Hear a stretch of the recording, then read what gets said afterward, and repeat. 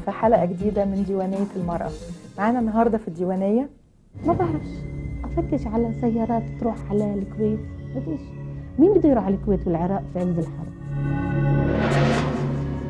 طلعت بباص حتى الباص اللي كان خلفي آه، كان مليان آه، ناس انضرب بالطريق.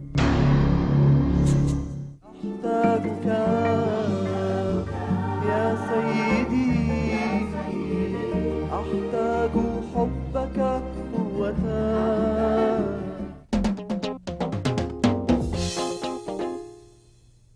بنسمع كلمة صلاة كتير جدا لكن بالنسبة لكل شخص ليها معنى مختلف. يا ترى إيه المعنى الحقيقي بالنسبة لك لكلمة صلاة؟ بتعرفي رندا نحن الستات معروفين عنا إنه نحن بنحب نحكي كتير. بس نستلذ بالكلام أكثر لما بنلاقي ناس عم بيهتموا عم بيسمعوا عم بركزوا معنا. وأنا بحس إنه الصلاة هي صلة وتواصل مع أبوي في السماء ومشتاق يسمع كيف عم بغ- عم بعبر له عن وضعي عن مشكلتي عن حاجاتي. وبنفس الوقت مشتاق إنه يعطيني نصائح فكرة وبنفس الوقت بأهلني كيف أسلك في هاي الفترة. فالصلاة فترة حلوة لذيذة كتير. أنا سمعت حاجة عجبتني قوي في مرة إنه الصلاة عبارة عن إعلان احتياج.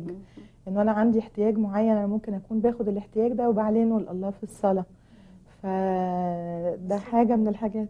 آه، نطلب حضرته نطلب وجوده نطلب محبته.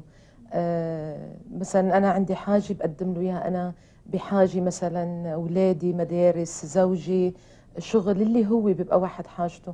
بس هو بالوقت نفسه بحاجة يقلي. هو شو في بفكره. بقى إذا ما بفوت على حضرته وب- هي الصلاة آه، مثل خط التليفون. آه، بحكي مع صاحبتي ألو أنا اليوم متضايقة. بتصير هي تحكيني وأنا أحكيها. بصير في محادثة علاقة.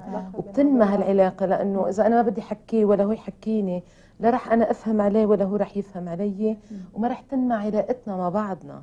آه، بصير أعرفه أكثر بالصلاة بنمي علاقتي بنمي معرفتي. بربي أكثر يعني زي ما أربي قالت أنا بحس إنه الصلاة دي آه، يعني دخول لمحضر الرب آه، اللي هو فيها بيسمعني فيه وتلاقي لروحي مع روحه فيها يعني فيها آه، زي انضمام لقلبي لقلبه أنا بسكب له كل اللي عندي هو بيسكب اللي هو عنده. فأنا بحب أتخيل إن أنا ما لما هو بيسكب جوه قلبي من اللي هو عنده دون يعني دي نقلة تانية خالص بحس- حياتي بتتغير وبتمالي والحاجات اللي أفكاره اللي غلط آه. الحاجات اللي غلط آه. فيا آه، بتتصلح وبعرف هو بيحب إيه وبي آه، ما بيحبش إيه وعايزني أعيش إزاي. وقت بتكوني بحضره الله بالصلاة أصلا. آه، هي الصلاة مش بس ساعة اللي بتقعدي وبتركعي وبتقولي يا رب لا الصلاة آه، هذا. بزمان كمان سمعتها. الفترة الصباحية بناخذها بالصلاة آه، مثل كأنه أوركسترا عم بتدوزن العود بتدوزن آلات الموسيقى بس فترة النهار كله هي ح- حضورنا ووجودنا الله. بحضرة. الله. كل النهار. أنا فعلا بتفق معاكي خالص في اللي انتي بتقوليه. تعالوا معانا نروح لسلوى نتعرف عليها ونشوف الحكاية بتاعتها إيه.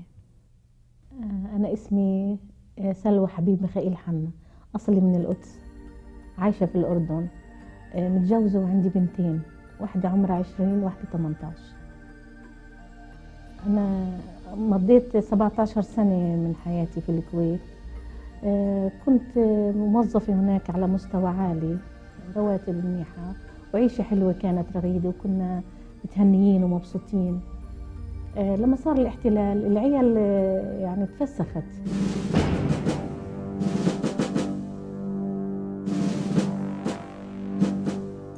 أنا متجوزة واحد مش من بلدي. ومن أصل فلسطيني بس هو أمه عراقية وخلقان في العراق.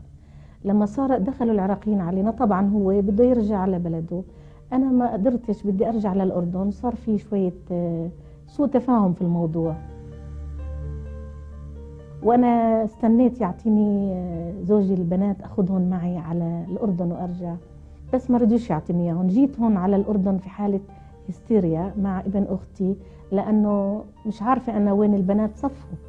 كنت كتير أبكي لأنه بناتي مش معي وأصلي عشان أحصل بناتي.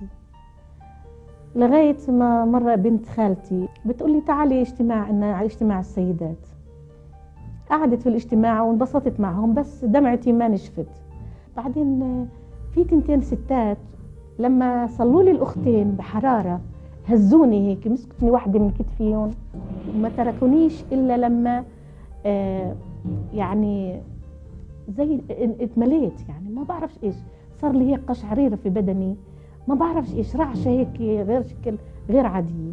قالوا لي تخافيش إن شاء الله إن شاء الله باسم يسوع إنه راح تروحي وراح تجيبي بناتك وراح يجي جوزك وراح تلتموا على بعض وراح تعيشوا عيشة هنية. قلت لها كل يوم بدك تطالبي وإحنا رح نساعدك بنعمة الرب إلك.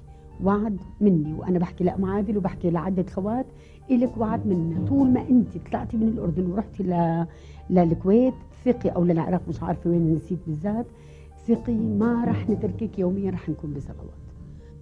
طلعت فيهم أنا يعني ما يعني ما ما خدتش ولا عطيت يعني خلص إشي طبيعي بيحكوا هيك الناس مع بعض بيعزوني يعني عشان أنا بعيدة عن بناتي. رنت خالتي وأبكي وأعيط وهي تبكي عشاني وصارت مريضة عشاني بخالتي قلت لها بدي أسافر. صار عندي روح آه، إيمان ويقين إنه أنا اللي قالوا لي إياه هذا مزبوط رح يصير. ما بعرفش افتش على سيارات تروح على الكويت. ما مين بده يروح على الكويت والعراق في عز الحرب طب أنا كيف بدي أروح؟ وين بدي أفتش على بناتي؟ برضه في إشي جواتي كان في وازع يقول لي صوت يقول لي روحي روحي. خالتي تقول لي ما تروحيش إذا رحتي حتيجي إذا جيتي سليمة راح ينقص لك إجر ولا إيد. ما تروحيش أحسن. أنا قلت لها لا بدي أروح. قعدت اقرا بالجرايد أفتش على مواصلات تروح على العراق أو على الكويت. لقيت باص واحد شركة مستغلة فرصة الحرب وبتاخذ فلوس كتير علشان إيش؟ توصل الناس وين ما بدهم. طلعت في باص حتى الباص اللي كان خلفي آه، كان مليان آه، ناس انضرب بالطريق. وصار لنا كثير أشياء بالصحراء. كنا نواجه مشاكل. لما الدنيا تليل عتم فيش نور الباص يقفل آه، يهدي ما فيش مشي.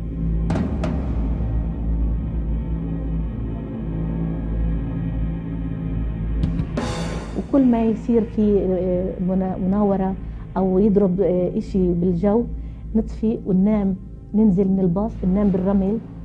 عشان إذا ضربوا الباص إحنا نكون آه، نايمين. يعني بالصحراء ما يصيرناش ناس راحوا على الكويت أنا كملت على العراق.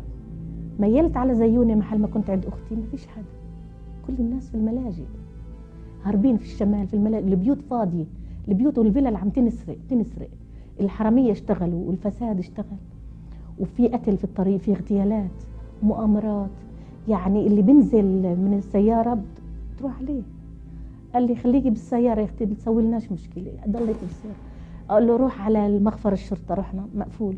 روح على مختار الحي تبع روح على المختار. مش حد مقفول. ما فيش حد في بيته. لما صارت الدنيا راح يطلع الصبح علينا. ولا بقول له وقف وقف. سيارة جوزي هاي مش سيارته دنيا ليل. أقول له للشوفير اضوي الضوء شوي أشوف السيارة اللي قدامنا.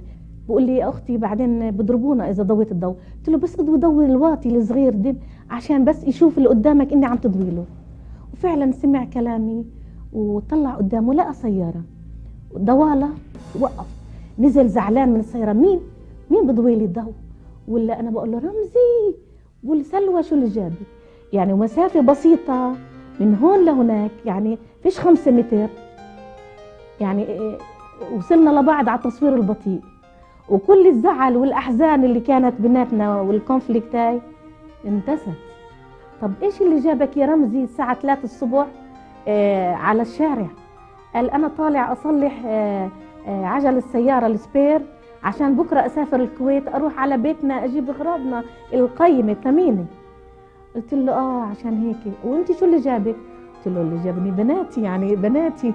روح قلبي كيف بدي أتركهم بالحرب إشي جاي أخذهم. وأنا ما كنت مصدقة. لما شفتك انبسطت كتير. زي ما تقول رجعت كيف لما يكون واحد بعيد عن أمه؟ خلص بحس حاله زي كأنه يتيم. رجعت حسيت زي كأنه إلي يعني حدا تانية يعني إنه في حدا يهتم فيي. انبسطت كتير يعني وحتى إني كنت مريضة وقتيها. بس نسيت عن يعني المرض لما هي إجت أنا قعدت في الملجأ مع البنات وكنت كل يوم أطلع من الملجأ وأروح على الدوائر الرسمية آه، أحاول إنه أدخل البنات معي لأنه هن تابعين لأبوهم. أبوهم مسجل إنه عراقي وممنوع أي نملة تطلع من العراق. رحت على سفارة فلسطين ما نفعش. رحت على سفارة العراق ما نفعش. رحت على السفارة الأردنية سفارتنا في بغداد. أعطتني بناتي حطت لي إياهم بالجواز مع إنه كان من المستحيل. بس إلهنا إله المستحيلات. أعطاني بناتي بالجواز وجيت فيهم. ولما جيت فيهم صار في ضرب بالطريق كمان. و يعني الموضوع يطول شرحه. قد ما شفنا مصادفات. بناتي شافوا ويلات بالطريق. بس ما صبنا ولا حجر. بالفعل أنا بشكر أمانة الرب. الرب اللي كان أمين وكان دائما بذكرنا فيها. عدة مرات كان الرب يفيقني بنص الليل مرات وجه الصبح كنت دائما بصلي باستمرار. وأعلم يقين وكنت أطالب الرب بوعده إنه أنت تكلمت أنت أمين أنت قادر إنك تعمل حتى نرى مجدك. وربنا كان حميني في الطريق لا همني القنابل ولا همني الصواريخ اللي بتطلع من الطيارات ولا همني القصف ولا السفر ثلاث أيام بالطريق ولا همني في بالي شيء واحد. والأخوات كانوا في الأردن يدعموني بالصلاة. قالوا أنت روحي وإحنا بندعمك بالصلاة. أنا ما كنتش أعرف شو معنى بدعم بالصلاة. تقصية ما بعرف بصلي. والرب أتاري مختارني من زمان ل... لمجد اسمه ل... لاشهد له. بعدين عرفت إنه الرب كان حاملني طول فترة السفر على إيدي زي ما بقول لو كنت في وادي ظل الموت فلا أخاف شرا. الرب بغير القوانين كرمالك ربنا بغير القوانين بدلعك بدليع ربنا بدللك. قد ما صار فيه بحياتي عمره ما تركني. عمره ما خلاني لحالي ولا رماني. ولغاية هلأ كل خطوة بحياتي عماله بهتم فيي وعماله بدبر لي الإشي مهما كان إنه بالنسبة إلي مبين مستحيل. أعطانا وعد هو وعده صادق هو صالح الرب صالح.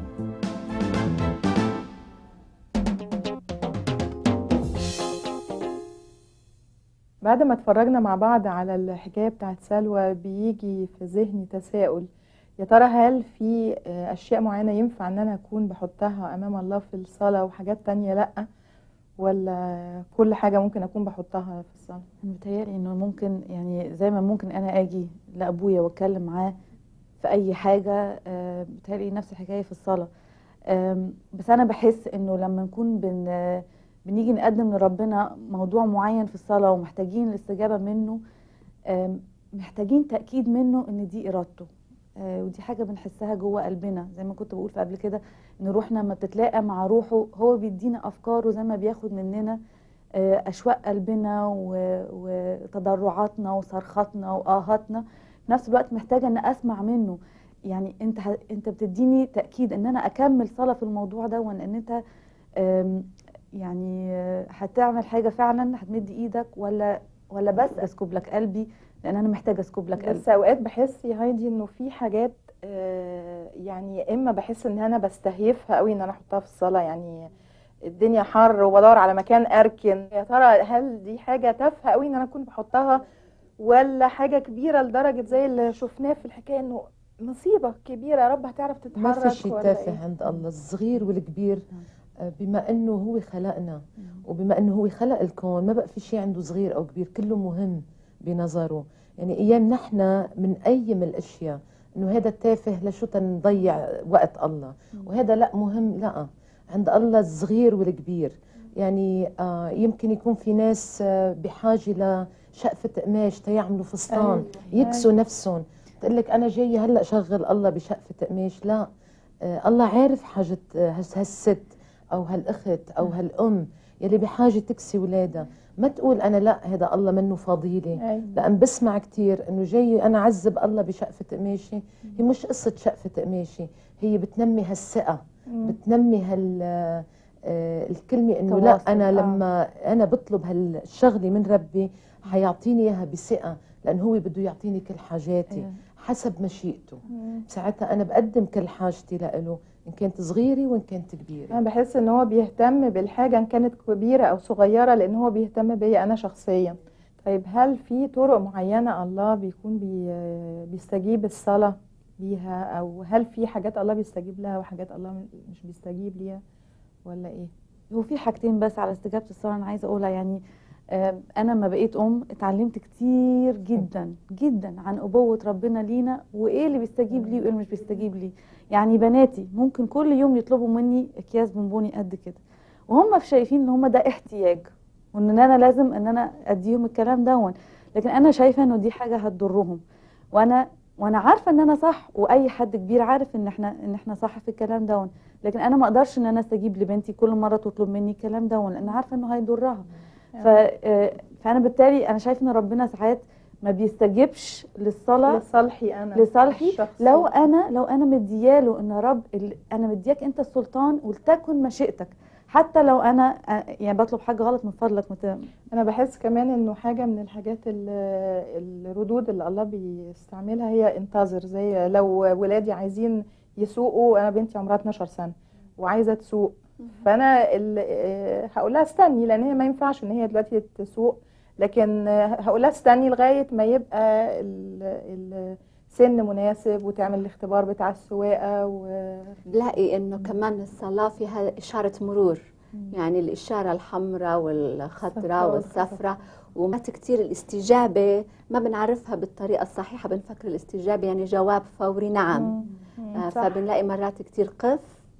ما تستعجليش ما تستعجليش فهون بنلاقي إنه الصلاة هي زرع مم. بزرع وبحصده في الموسم الثاني. مش فورا لكن في الصلاة اللي هي استنجاد أنا هلأ عملت حادث فهل الرب بده يستنى يقول لا لي أحصل انتظر. على الجواب مش معقول فبنلاقي إنه. فيها عملية ترويض مم. عملية إنه أنا بفهم عليه بعرف هو شو بتوقع مني إيش أطلب منه كيف أطلب منه هذا الشيء بلاقي فيها طمأنينة. الصلاة فيها طمأنينة وبتعلمني شوي شوي إنه أنا أتعرف على رزنامته. وبتعرفوا إيش حاسة هلا؟ يا ريت هلا نرفع خواتنا اللي عم بيشاهدونا في الصلاة. مم. قديش بيحتاجوا يمكن آه، يرتفعوا في الصلاة. أكثر مما نحكي يمكن. آه، في مجال إنه نصلي. نعم إلهنا. نضع يا رب حاجاتنا بين إيديك. كزوجات وكأمهات نحتاج إلى رعايتك. الآن يا رب نضع المواضيع الملحة بين إيديك. أنت الراعي الصالح أنت المشير أنت العجيب أنت الإله القدير أنت الأب الأبدي أنت رئيس السلام. الآن تدخل في هذا الموضوع تشفع من أجلنا تشفع من أجلنا. ارفع الثقل حتى نرى بوضوح. افتح عيون أذهاننا حتى نرى كيف نسلك. لمجد اسمك وصلي إلهي. آمين. في حد مرة قال جملة عجبتني قوي. بيقول ما تجيش تقول آه، يا رب أنا عندي مشكلة عظيمة لكن تعالى في وش المشكلة وقول يا مشكلة أنا عندي إله عظيم. وكأن يعني ما فيش مشكلة ممكن أكون آه، بتواجه معاها في أي حتة أنت موجودة فيها دلوقتي سواء أنت في الجزائر في المغرب في لبنان في الأردن في أي حتة أي مشكلة أنت بتواجهيها ممكن تكوني بترفعيها فعلا أمام الرب. وإلهنا عظيم جدا هو ممكن يكون نعم، بي نعم. يعني بيغطي كل حاجة آه، وليه رد وليه سكة له في الموت مخارج في كل في كل الطرق يعني آه أنا حاسة إنه أشارك في هاي الفكرة إنه في مثل بيقول آه أعطيني سمكة تشبعيني يوم واحد مم. علميني أصطاد وبشبع كل أيام حياتي صح. فأنا بشجع الستات اللي عم بيسمعونا هلأ إنه مش ضروري تكون في كلمات منمقة أيوة. آيات بتشهديها آه فبنحب نعلمك الصيد والصلاة صيد تصطادي بركات من الرب تصطادي آه رضا على حياتك. فمش مهم الكلام لكن المهم إنه أنا بعرف أبوي بطمن في الصلاة. آه فبتشجع كثير في هاي الفكرة أنا. ممكن نعمل له صف حكي أو شعر آه، بس كله ما بيفيد هو بهمه شو في بقلبنا شو قلبنا. أنا وقت صرخت قبل ما أعرفه شخصيا صرخت يا رب كنت أول مرة بقول يا رب. هو عرف شو صرخة قلبي مش اللي على شفافي بس عرف شو في بقلبي. وهو نزل وقدم نفسه لإلي تأعرفه شخصيا. فالحقيقة وقت اللي بنصلي مش لازم يكون آه، حاجات منمقة أيوه أو كده. إنه إذا أنا ماني قاعدة هيك قاعدة هيك ما بيسمعني أو إذا قاعد إنه لا أيام مثلا بضطركم بسيارة بيجيني فترة بدي صلي بوقف. يعني السيارة وبرجع على بيتي بقفل لا آه، هو موجود هو إله كل الوجود موجود وين ما كان. عارفة يعني نورما في حاجة كمان على حكاية الصلوات المنمقة دي أنا شخصيا اختبرتها في ال- السنة اللي فاتت وهي إنه لما لما الكلام اللي هو اللي إحنا دايما بنردده سواء في الصلاة أو في القداس أو كده. بحس إنه أوقات بيتقال من غير ما أفكر. وبعدين جيت في وقت من الأوقات ابتديت إن أنا أقول لأ أنا حتى لو الحاجة دي أنا بشترك في الكلام اللي بيتقال ده علشان ده جزء من العبادة. طب أنا هبتدي أفكر في الكلام ده ليا أنا شخصيا. وابتديت إن أنا آه، يبقى المعنى بتاع ال- الصلوات اللي مقروءة أو مكتوبة دي بالنسبة لي كان ليها ليها اختلاف كبير جدا. ابتديت أحس إنه لأ أنا كل مرة هصلي الصلاة ال- المكتوبة دي أو الحاجة اللي أنا متعودة عليها يا رب أنا بصليها باتجاه مختلف. أنا هصليها لاحتياج جديد هصليها لبركة جديدة. فحسيت خالص إنه ما بقتش بزهق من الصلاة إن أنا كل يوم اللي هو عايزة أخلص وأمشي. لكن علاقة جديدة بت بتتعمق زي لما بتقري الكتاب المقدس كل يوم نفس ال أيام نحن كبشر أيام اللغة بتنحد عنا. ما عاد عنا الطاقه نعبر فيها. مشان هيك كلمة الرب بالانجيل آه بيقولوا ألذ شيء على دينة ربنا لما يسمع كلمته رجعت لإله. في ستات بيقولوا آه، حسيت صلاتي ما اخترقت سقف الغرفة. مم. آه، ردت علي. يعني.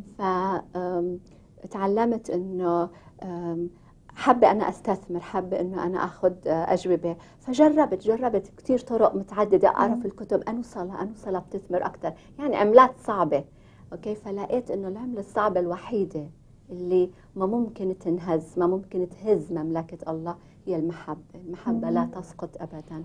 الله محبة. محبة عملة صعبة جدا جدا. وبعرف إنه عند ذكر اسم يسوع ودم يسوع يفتح أبواب السماء. فنطمن. نطمن في هاي المحبة عملة صعبة مش ممكن تتأثر لا بالظروف لا الكلام على الصلاة وعلى المسيح نعم. ما يخلصش يعني نعم. ورائع جدا نفسي قوي إن إحنا نكون بنكمل بس نفسي إن إحنا نروح نتفرج مع بعض على الترنيمة اللي جاية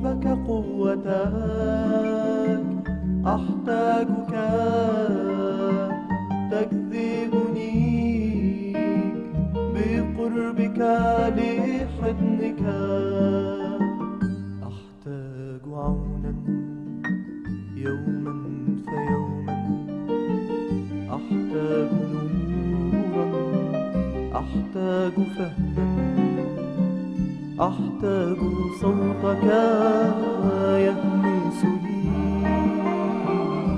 أني لك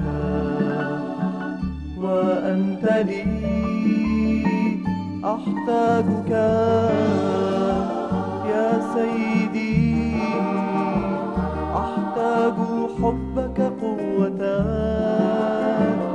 أحتاجك تجذبني بقربك لحضنك أحتاجك تمنحني حبا لك.